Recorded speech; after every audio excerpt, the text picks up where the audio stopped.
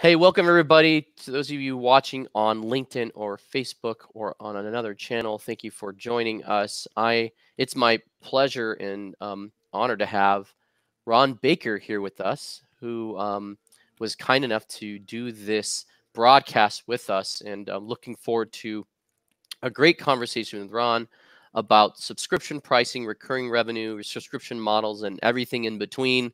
Uh, Ron, welcome to uh, this conversation. Oh, thanks, Michael. This will be fun. Looking forward to it. Yeah, and Ron, just for for the audience of those who may um, may or may not be familiar with who you are and kind of what your specialty or focus is, why don't you just give a little bit of introduction about yourself? Oh, geez, nothing bores me more than talking about my bio. But uh, I'm a recovering CPA, founder of the VeraSage Institute, and I've been kind of preaching value pricing essentially since I started doing it in my firm in 1989. Wow. And I've uh, been teaching it since 1994 publicly to the rest of the profession and published my first book about it in 98. So, really trying to kill the billable hour and the timesheet. And now I'm happy to say there's uh, something that's come along that is a completely new and different business model that even blows up value pricing. That's that's that's crazy. Yeah, and well, yeah, thank you, and thank you for all the contribution you've made to the profession and, and especially in this conversation of value pricing over the number of years i could have i'll age myself but i could have been watching you since i was eight. So i didn't i didn't know that but that's awesome. That's great to know. Um, that makes me feel old michael but okay. yeah. No but it just means you're a wise sage which is awesome. Uh, so uh, yeah you've been known ron as a, a, value pricing thought leader in the accounting space and in, in many other spaces. Um, you've written about it. You uh, you've coined terms in it. You've challenged people in it. Why the move into subscription pricing and and and subscription based pricing evangelism? Like why why that sudden move and how did that come about for you? It came about just by you know looking out the window and looking at economic reality. I mean, there is a subscription tsunami um, flooding the world, and to to ignore it, you're just kind of sticking your head in the sand. Uh, you know, Tien Tzuo, uh, the uh, founder of Zuora, which is the um, you know you know Michael, they're the yep. Uh, one of the software companies that helps businesses run subscription, and he wrote a book called Subscribed, and in that book he says, you know, in five years you won't buy anything, you'll subscribe to everything. Now, I'm not willing to go that far. He's got a vested interest in, you know, really pushing this model, and I understand that.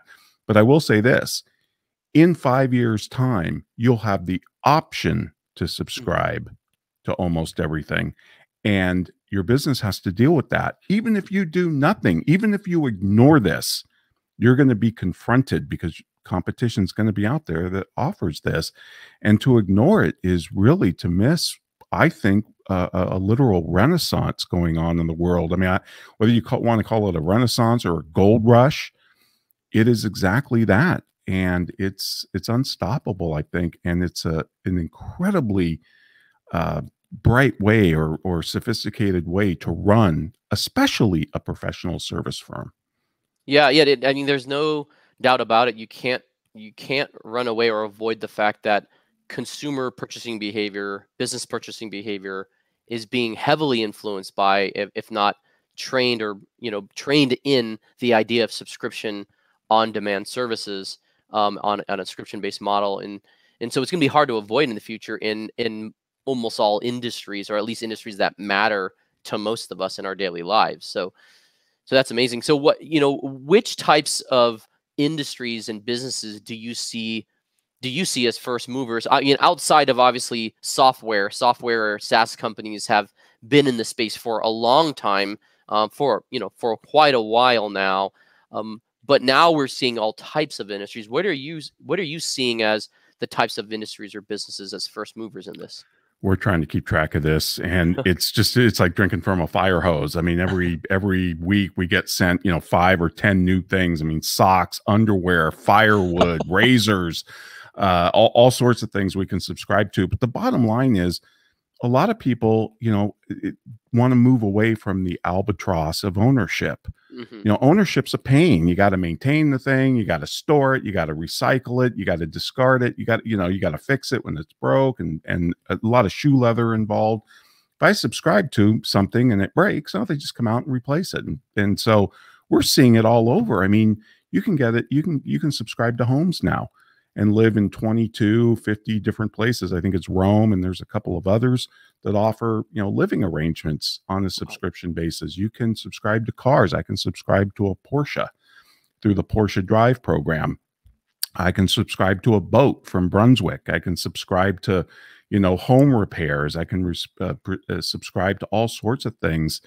And it, it's really just, it's all about access and convenience and and making um, your life frictionless there's something a, there's a direct relationship when we subscribe to a company it's mm-hmm. not the same thing as a transaction it's a direct relationship and there's something psychological and one of the problems with this whole conversation michael is we don't have a good vocabulary to right. explain this we don't right. our vocabulary is groping for the right words to explain the connection that a subscription based business has. Did you ever think anybody, anybody would be passionate about a razor blade? and yet, when you hear people talk about Harry's or Dollar Shave Club, they sound like lunatics to me. But they're passionate, and and I kind of get it because they're they have a direct relationship with that company when you subscribe. Yeah, I think that I think you're right. I, I think there's there we're groping for language to describe this. You know, there's language that comes from religion to describe it, cults almost, tribes. Um, we're also, you know, the the terms memberships don't sound powerful enough. Um, you know, there's loyalty involved. We're building we're building loyalty into brands, but it seems it seems stronger than that. Almost almost like you like you were referring to, almost cult like or or avid follower like um, we're trying to grope for. What what um, are you? Which industries are you seeing that need to move to this, or should really be considering this, but they're just needing to be pushed? You know, they they really need to be pushed because they're just not understanding the opportunities um, that are out there regarding this business model. Well, one of them, uh, and it was actually an early adopter, is medicine. Huh. now we have uh, these things called there's concierge doctors which tend to go after the middle class, the upper middle class. Some some even go after just CEOs, you know, really really busy people, uh, and their prices can you know be anywhere from a, a cable bill a month to thirty grand a year to cover a family of four if you're the CEO. Um, and then there's their direct cousin, which is the direct primary care practices. We have about 1,200 of these now throughout the United States, and these are subscription based general physicians. And since a GP can handle 60 to 80% of your medical needs, uh, you have a direct relationship. They, they were doing telemedicine long before COVID, long, long before COVID. You had email access to them, you had same day appointments. Some of them will come to your house, your office, wherever you are. They'll travel to you because they serve less patients. Your typical GP in the US has something like 2,400 to 3,000 panel patients. A concierge doctor might have one or 200 a, D, a DPC doctor might have five or 600. So, yes, they have fewer patients, but that means they always have capacity to handle anything that comes up. And what they and, and what they can provide under their roof is continuously expanding. Some dispense drugs, some have MRI machines, other diagnostic tools, some do other types of consulting, some offer massage, chiropractic, whatever. These things are flourishing, and they are um, they are the perfect model for subscription based businesses. And I find so many parallels between the accounting profession and the medical profession. The doctor's there to keep us healthy. What's the CPA there for? To keep us financially healthy. So uh, that's kind of my model. And Michael, the first concierge medicine medical practice in the United States was started by a guy named Howard Maron. He was the Seattle Sonics, Supersonics, I guess, uh, team doctor huh. for the basketball league. And when one of his players got hurt, he'd go out there on the court. He knew exactly what to do. And he said to himself, I know exactly what to do with these people because, of course, I know everything about these players. Why don't I do that in my practice? Huh. Why can't I do that in my medical practice? Because I get to spend a total of five minutes with them. Right. So he started MD squared which was the first concierge pra- medical practice in the United States, I think in the world. Wow. In 1996. Wow. We wow. are actually behind the curve. yeah, it's 25, 25 years ago. I can't, I, I, I can't amazing, imagine that. That's amazing. Yeah, that's a lot. And, and what, what do you think was the insight that happened in the medical space or there that, that the same insight kind of would have to happen in the accounting field or other fields in order to push the industry? What's that insight? What's that tipping, you know, that tipping point or that knowledge of wisdom that came up that said to a doctor, I can do this when no one else in around me is doing that? It's a great question, and I think uh, this this is this is where the differences between medicine and becoming a CPA or being a CPA are different. Um, the the great motivation for DPC and concierge in the medicine medical world was the fee for service and the insurance model. Doctors hate it. Um, it's a pain in the butt. They're paid for each service. You know, each, it's it's like almost being paid by the hour. They're on that treadmill. They have to have a huge bureaucracy to fill out insurance forms, whether Mm. it's the Medicaid for Medicare for government or whether it's private insurance. It- it- the, those third parties are, are intimately involved in what they'll cover, what they won't. So they get involved in, you know, how that doctor's providing medicine. And the doctor said, enough. This is not why I became a doctor. I became a doctor to help people, not to serve a bureaucracy, not to serve an insurance company, but to help people. They didn't even like the electronic health records. It, you, uh, it's pretty hard to find a, a DPC doctor that that uses electronic health records. They hate them Yeah. because it, it it turns them into better typists than doctors. So that was the motivation. It was frustration with the fee for service. And but in my mind, the parallel is if you're out there selling hours, or you're out there even on a fixed price basis with your customers or on a value price basis, you probably still have too many customers. You're Mhm. probably still not going as deep with them to keep them healthy financially as you could. And therefore, if you shrunk your panel of customers, you'd be able to do more for each one, charge each one three to five times more. I mean, this isn't free, um, but you, you'd have less customers, you'd make more money, and you'd have a better quality of life, and you'd have happier customers. Right. That, that makes a lot of sense. And so, yeah, for any profession, kind of like in the medical field, there's going to be a number of customers out there. There's probably thousands, if not tens of thousands of them or millions of them looking for that deeper relationship with their professional, whether it's an accounting professional, a lawyer, a marketing specialist, a sales specialist, whatever it is uh, you provide, uh, where you're going to have to actually serve them more deeper and create a real relationship uh, that that that ties you together, just like you would as you described with a primary care physician uh, or a doctor. Um, for people who are new to this model, um, but they're you know but are interested in, in making that shift, right? They have a current business, maybe they're charging by the hour, they're selling products one at a time in a store. Um, what what are some what are some first steps you're seeing actually get people to make that shift happen? Is it close the business down and restart? uh, i- i- is it a wholesale? Hey, going forward, never sell. You know, all all new customers get them on a subscription and grandfather the old customers into you know into it. And if they fall off, you know, what is that step that you would recommend? And is it is it is there one one solution or is it different for everybody? I think it's different for everybody. I wish I I had the one solution. I do see advantages to starting a new entity that can do this from the ground up and not have any of that legacy system and legacy baggage of whether it's billable hours or even value pricing comes with its own bureaucracy and measurements. I mean, this is a different business model, so it requires a different philosophy with respect to your pricing and it requires a different dashboard with respect to what you're measuring. Mm. As you know, Michael, better than anybody, um, the, the subscription income statement looks completely different because it rolls forward that annual recurring revenue and it and it and it core it, it categorizes things so you can track things like cost of acquiring a customer and figure out lifetime value and all of those metrics. There's no room in there for timesheet data. There's no room in there for realization and utilization and effective hourly rate and all the other bs measurements that come with hourly billing um, it's just a completely different model. What you look at, what you measure, what you pay attention to is is even different than in value pricing.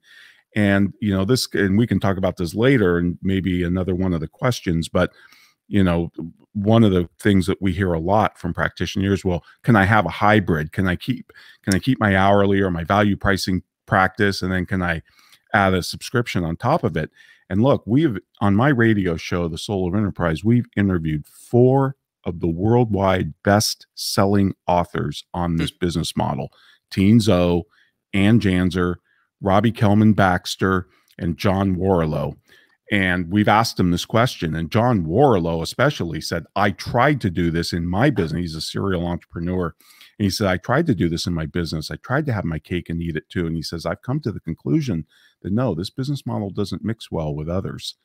So uh, but I, I would think the the first thing that folks have to understand, even before they start thinking about what the transition is, is to understand the outcome that your customers are really buying. Customers don't buy products and services. They don't buy tax returns. They don't buy audits. They buy some type of outcome.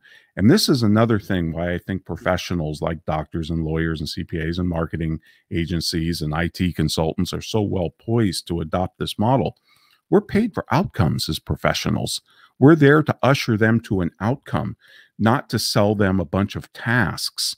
And the the subscription model forces you to fo focus on that outcome. I'll give you an example. Think about the eye business. You know, the it's just the you know if you wear glasses, you don't wear glasses. It looks like, but you know, if you wear glasses, what are you really buying?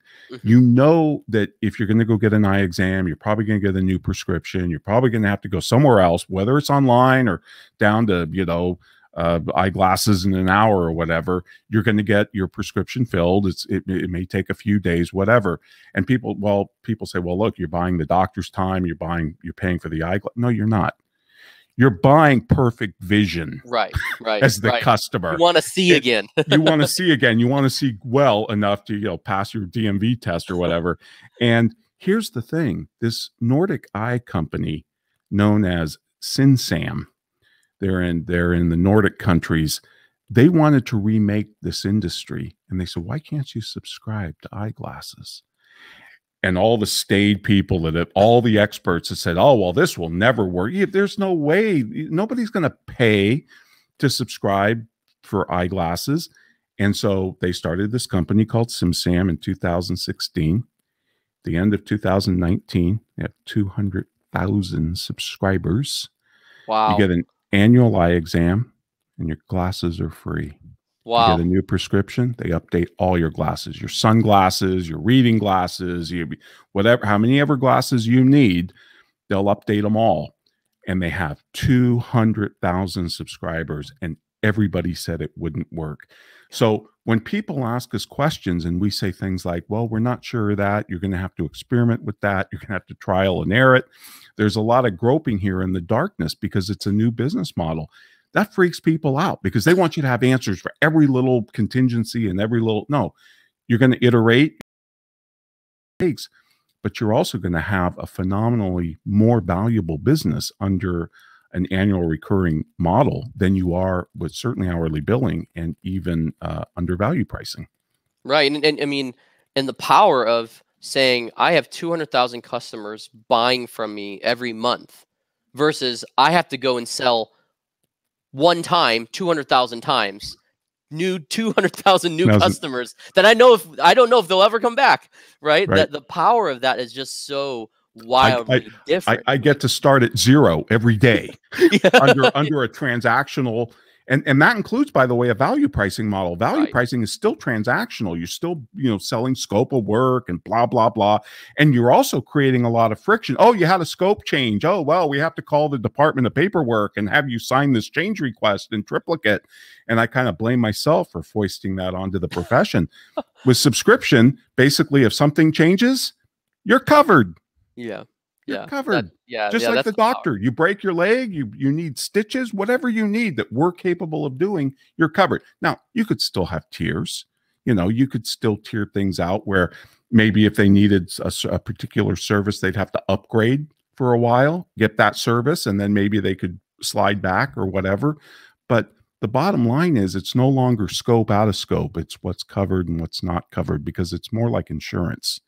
It's convenience it's frictionless it's it's access when they want uh, you know when and where they want it Um, and that's why I think it makes so much sense. Do you, do you think there are industries that um, can't go into this model or, or are going to have a hard time going to this model? Yeah, this is a great question. We we've actually asked all these authors about this as well, and we think of Ed and I, Ed Kless, my co-host from Sage on the Soul of Enterprise. We talk about this all the time offline. Um, you know, think about funeral parlors. Would you mm. subscribe to a funeral parlor? Interesting. Would you? why would you subscribe to a realtor? Why yeah. would you subscribe to a divorce attorney? You know, right. unless you're Liz Taylor or, or you know J Lo. uh, why would you subscribe to a custom home builder? Even though we've seen architects that design custom homes offer subscription quite successfully to custom home builders, you know, right? If I'm a custom home builder, why not have an architect on subscription, right? That I can access. Uh, so there probably are. Pharmaceuticals would be another one. Um, could we? Could we? Would we subscribe to pharmaceuticals? And I and I think there's ways to do it. And when we knee jerk reaction this and we say, oh, there's no way to do this, um, I'm not sure. I don't think we're thinking creatively enough.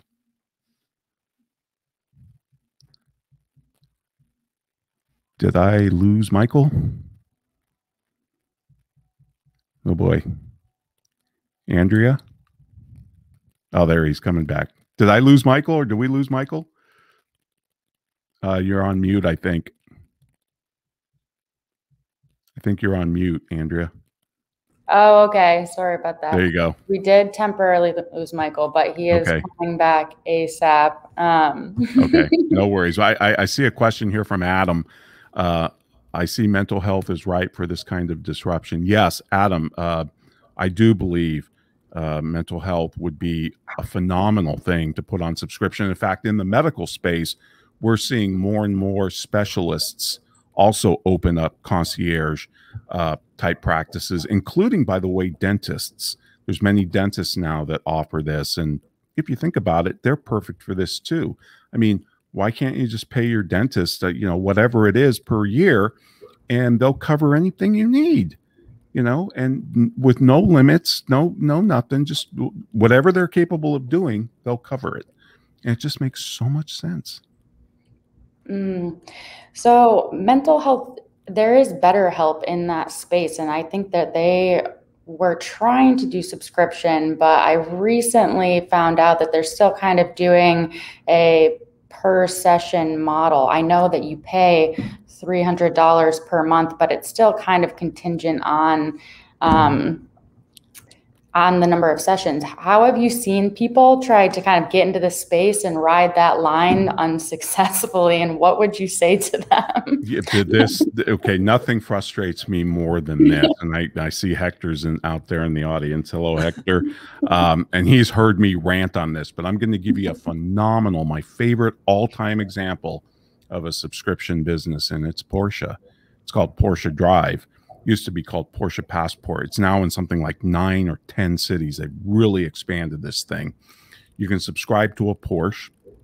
There's three options. You can have a single, you can pick a single car, single model, or you can have a multi plan, uh, mo- multi models where you can just swap out. So, like I'm in the wine country, and if I have a convertible and I call up Porsche and say, Hey, I've got you know friends coming out this weekend where we want to go wine tasting, send out an SUV they white glove out an SUV, white wow. glove away the the uh, you know the convertible. I can do this as many times. There's no limitation on it. They pay for everything except gas and tolls. Everything, insurance, taxes, everything's covered. If I need maintenance, if I need tires, whatever, they just white glove it out and drop one off. What is so? Uh, uh I'm looking at this going. This is phenomenal. You know, it's like thirty two hundred dollars a month to subscribe to uh, a Porsche 911. Uh, it's a little bit more if you want to be involved in their multi model where you can swipe, swap out and get different SUVs and different models. So I'm watching this and we're watching this thing like a hawk because we're really excited. They first started in Atlanta and, and Toronto, and then it, it started to expand. And now it's all over the Bay Area and Monterey, San Francisco, down in LA, San Diego, all over. And it's it's going to expand more. And they at first, there's no mileage restrictions. And and people say, well, what what's what's what's different about Porsche Porsche Drive and, and say buying a Porsche or leasing a Porsche. Hmm. Because, and this is key, you're not buying a car. Oh, Right. You're subscribing to Porsche. It's a direct relationship with Porsche. It even, in a way, kind of goes around their dealers, which Mm. is why dealers hate these things, by the way. Um, and that's a direct relationship. And now, and I just got a new update from Porsche Drive. They put a mileage restriction on it, 2,000 miles. And now they just dropped it to 1,500 a month. Now, you know, most people do not drive over 18,000 miles a year, and I get that. But you know what this is, Michael? This is the bean counters getting involved with this and going, oh, well, we can't have this. So what do they do? They they put a mileage restriction on it, buck a mile if you go over. And you know what that turns it into in the mind of the consumer? A lease. Yeah, right. And so they're framing it like a lease. And it's not supposed to be framed like a lease or buying. It's supposed to be different because it's convenient and they white glove me out new model. Stop it. The bean counters get involved in these things and they wreck them. yeah, and and and why they didn't just begin introducing higher prices, right? Or uh, increasing exactly. and just just increase the price. And, and let me but let me ask you right? let me ask you a better question because I know you're a marketing guy. Yeah. If I'm a Porsche subscriber and I want to drive 30,000 miles a year, which, you know, is kind of getting in truck driver territory, why would they want to stop me being out on the road, being an ambassador for their brand? Exactly. For crying out loud. what is wrong with these people? This has to be the bean counters doing this. Oh yeah. It can't be the car guys because car Yeah. guys understand that you want to drive up a 911 a- a- around the you know country a few times. Well, In and, and, and yeah, and then that's why we talked about earlier how accountants accountants have a very hard time cha- uh, uh, and challenge understanding this, right? We yeah, the the you you you since since the late 80s have been talking about value pricing moving from hourly to value. That was a hard enough conversation. You've been doing that for for a while now. Now we're shifting to subscription pricing. And it and and instead of thinking of there's more there's there's even higher prices we can charge because this thing is is is producing highly loyal highly loyal customers um, that are connect you know that are that are loyal to Porsche that have a direct relationship um, instead, you, you you're saying to the relationship, well, I don't know if I want you for over for dinner that much, right? I don't know if I Right, want to be with you. I don't want to with you. you're still putting that scope around. Well, if you go, but if you go outside the bounds a little bit, we're going to charge you a buck a mile. That defeats the whole purpose of convenience, frictionless, not having to deal with the Department of Paperwork and worrying about whether or not I go over. This is what we mean when we talk about value pricing. We talked about you have to you have to price the customer. Hmm. You can't price the services because value subjective. Customers have different valuations of different services. So price the customer. Well, in uh, subscription, you're actually pricing the relationships Mm, and the portfolio. And that means what I mean by the portfolio is you got to look at it like an investment banker or a venture capitalist, where, or you know, there's an old joke about uh, when when Sony bought um, one of the movie companies, I forget which one, one of the movie studios. They had their first meeting, and and one of the uh, execs stood up from the studio and he said, "Look, we're going to make ten movies this year, and five of them are going to flop. They're going to we're going to lose money. Two of them are going to you know bust even. We might make a little bit of profit. Three of them would blockbusters." One of the Japanese executives raised his hand. He said, "Well, why don't we just make the three blockbusters?" Because it's a portfolio. So you're going to have some people in Right. that Porsche uh, subscription that that drive five thousand miles a year, and then you're going to have other bozos that drive forty thousand miles. But it's going to even out across the portfolio. right. If they're if they're crazy enough to subscribe to a Porsche, they're fanatics about your brand. Why wouldn't you want them out there? Well, it's fun. It's funny. Gym, gym, gyms have figured this out, right, for a long time. Gym memberships, where they know that out of the hundred percent of gyms members, twenty percent of them use the gym, use eight, use the gym eighty percent of the time. Right. Eighty percent of them use it twenty percent of the time, and Yep. you don't see them sending messages to those twenty percent saying, "Well, if you use too many weights." In our gym, we're gonna start charging you a dollar. Or if if you're in the racquetball court just a little too long, you're gonna get an extra surcharge. Um, so there there are other industries have clearly figured this out and made it very convenient. And and what do they get? They get loyal customers that pay, and then they get a lot of customers that pay without even using the service quite often. But when they Sure. want to use the service, it's available to them They know it's right there. there, right? And so, you know, it's I'm I'm I'm part of a CrossFit gym, a CrossFit box nearby, and some months I'm there three days three days a week, four days a week, and some months I'm just so busy I I I I'm there once or twice that month, but I don't want to have to resubscribe or renegotiate a deal or an offer with that box. Uh, I want to be able to go and, and join that community whenever it's convenient for me. Um, and and no, and they know then they have a loyal customer that's paying regardless of how often or little that I use it. Um, In fact, so- that's one of the uh, that's one of the great things that these concierge and DPC doctors have learned. You know, we're trained just as people uh, to only go to the doctor when we're sick, and these concierge doctors have to retrain us, re-educate us to come when you're feeling well because they want to keep you that way. And that they say that's a big hassle. A lot of people don't come, and yet they still pay and they're thrilled. It- you know, insurance is a is a kind of a wacky product. It's the only thing that we pay for that we're thrilled when we don't use it. You know, I'm thrilled I didn't file an earthquake claim. I'm thrilled I didn't file a life insurance claim, but we still pay for it because we like that peace of mind and we like to know it's there if we need it. And it's the same thing with concierge doctors, and it could be the same way with CPAs. We underinvest in convenience, frictionless, and peace of mind. And I mean Mm. significantly underinvest in it, and that means we underprice it. Yeah, that makes a lot of sense. I agree with you. Um, what would you say are the biggest barriers that you've heard for business owners and people to enter into this this model? You know, what what seems to be the hurdle to say I I, I just can't I don't see it, Ron. I can't do it. It'll it'll destroy everything that I'm about. You know, Right. what what what are you seeing in those barriers? Is it fear? Is it uh is it I you know what what is that? Yeah, I, it's a lot of things. It's it's mindset. It is fear. Um, you know, and I and boy, my response to fear, especially in business, especially for a business owner, if you're not a risk taker, you have no business being in business. You know, go back and be an employee uh, because business is all about risk. Um, it's all about you know acting in the darkness of time. You have to have faith to be an entrepreneur. You have to because faith precedes knowledge. Faith precedes action. Faith precedes meaning and purpose Mhm. in your life. I mean, we have we walk by faith, not by sight. And if you're not willing to take risks, uh, geez, it, you'll just you'll just kind of flounder around. I mean, all profits are derived from risk. Hmm. So it, maybe people are more risk uh, prone than I than I give them credit for. But we hear a lot of fear.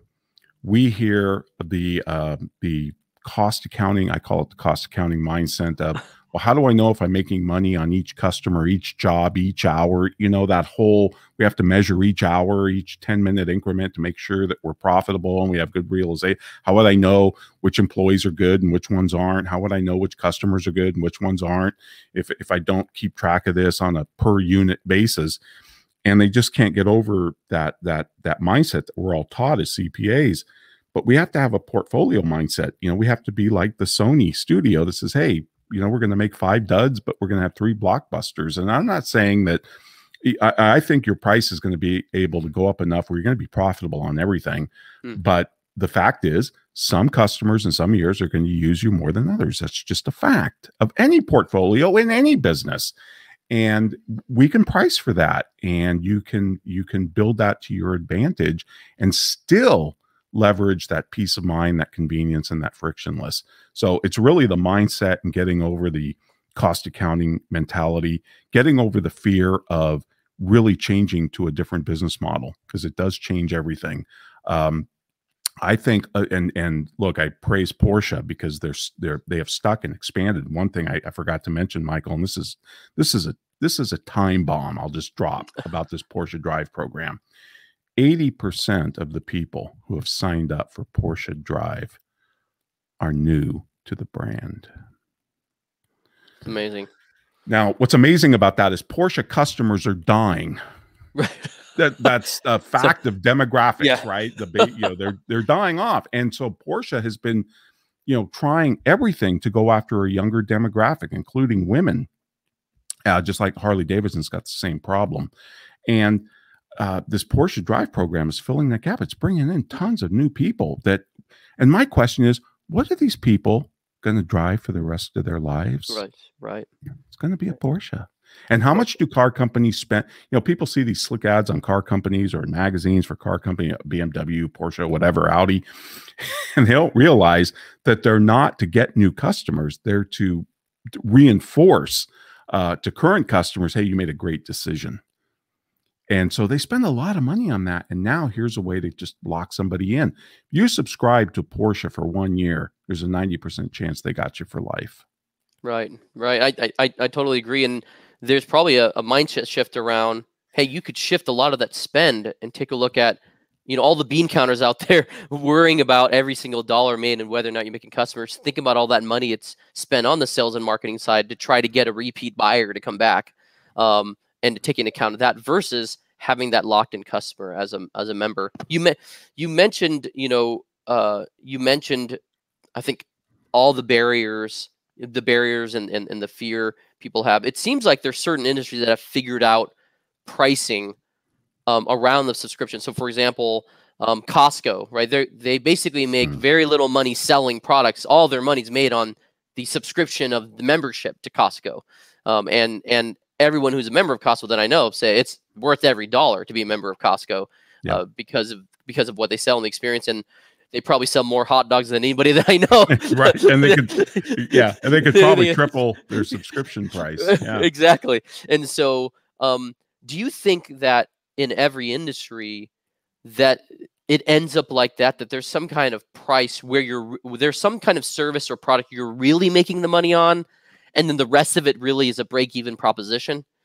um, or even a money losing proposition. What um, or are there models where it doesn't have to end up like amazon prime and amazon or costco memberships and costco that um, that they're actually standalone pricing on that? And you you gave one por- porsche um, in regards to that but are there are there other examples? I, I would think there seems to be a price they found that said we have enough subscribers at, at this price we can sell products all day long and lose money or make money doesn't matter.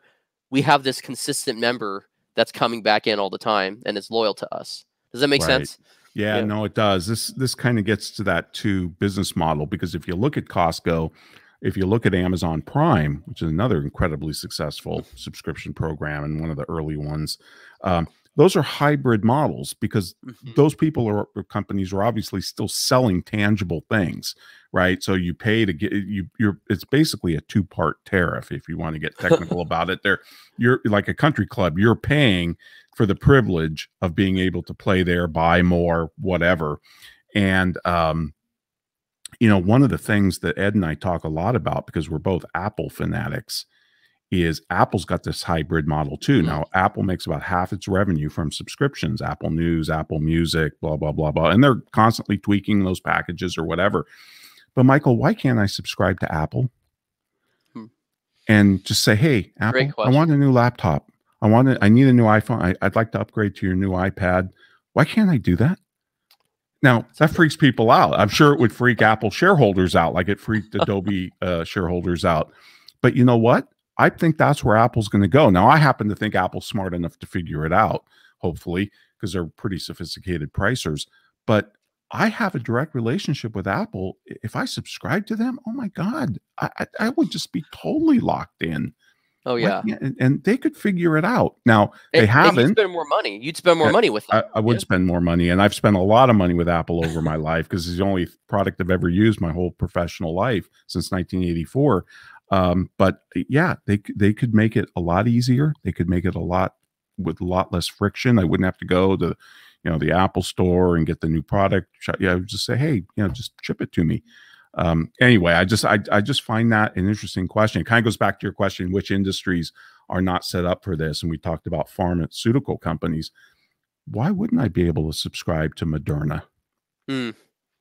I if I'm a subscriber to Moderna, maybe I get the first uh, vaccines that come out for any new epi, you know pandemic that comes down the line. I just we haven't thought creatively enough about this. Part of it's limit limitation of our our creativity and our vocabulary, but part of it too is that fear that you talked about as well, and just our our you know we need faith to be able to go into this Did you you talked about um, you know if you decide to go into this, what you need to measure is going to be very different, right? You can't right you can't just go to a typical income statement in QuickBooks and start and start measuring the performance of your subscription model business. Uh, what are some of those KPIs, those important metrics that you're guiding, um, you know, business owners and and business leaders to start looking at if they're going to start down this journey? What are, what's the focus there? Yeah, and there's and you're I know intimately familiar with all of these, and there's been a lot written on this. I think uh, uh, Andreessen Horowitz, the venture capital firm in uh, Northern California, has issued a report.